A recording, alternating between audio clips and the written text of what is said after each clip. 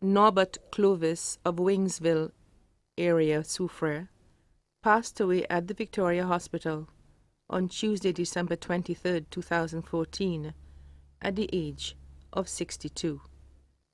The funeral service for the late Norbert Clovis will be announced in a subsequent broadcast. The body now lies at the Rambali's funeral parlor on Calvary Road, Castries.